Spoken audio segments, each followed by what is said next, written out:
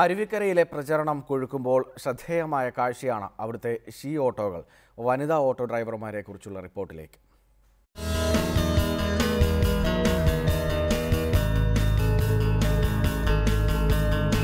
അരുവിക്കരയുടെ യഥാർത്ഥ സാരഥികൾ ഇവരാണ്. ജീവിത പ്രാരാബ്ദങ്ങൾക്ക് മുന്നിൽ പകച്ചു നിൽക്കാതെ നിശ്ചയദാർഢ്യത്തോടെ ഓട്ടോ ഓടിക്കാനിറങ്ങിയ ഈ വനിതകൾ ഇവരുടെ അനുഭവങ്ങൾ ഇവർ തന്നെ പങ്കുവയ്ക്കും. ആൾക്കാർക്ക് ആദ്യമൊക്കെ ആൾക്കാർക്ക് പേടിയായിരുന്നു. ഇപ്പൊ കുഴപ്പമില്ല എല്ലാവരും കയറണുണ്ട് പക്ഷെ സ്ത്രീകളും വളരെ ചുരുക്കം പേരെ ഞങ്ങളെ വണ്ടി കയറാറുണ്ട്. എന്നുവെച്ചാൽ മുൻപേ ഉള്ള പരിചയത്തിൽ ആണുങ്ങളെ വണ്ടിയിലാണ് കയറുന്നത്. ആണുങ്ങളാണ് കൂടുതൽ ഞങ്ങൾ ഓട്ടം വിളിക്കുന്നത്. സ്ത്രീ സുരക്ഷ അരുവിക്കരയിൽ പ്രചരണ വിഷയമാക്കുന്ന പാർട്ടികൾക്ക് ഇവരുടെ അധ്വാനവും അതിനൊപ്പം കൂട്ടി വായിക്കാം അവസരങ്ങൾക്ക് കാത്തു നിൽക്കാതെ കാക്കിയിട്ട് ഓട്ടോ എടുത്ത് കുടുംബം നോക്കാൻ ഇറങ്ങിയ ഇവർക്ക് ഇപ്പോഴും ആശങ്കകൾ നിരവധിയാണ്. പഞ്ചായത്ത് ഒരു ചതിക്കുഴിയിൽ കൊണ്ടിടുകയാണ് ചെയ്തത് ഞങ്ങളെ.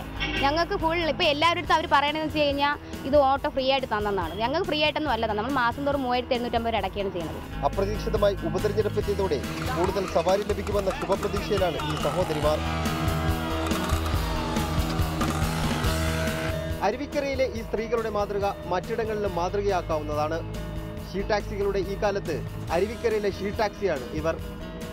അരുവിക്കരയിൽ നിന്നും ക്യാമറമാൻ അരുൺ മാത്യുവിനൊപ്പം സേഫ് സെനുലാബ്ദീൻ റിപ്പോർട്ടർ.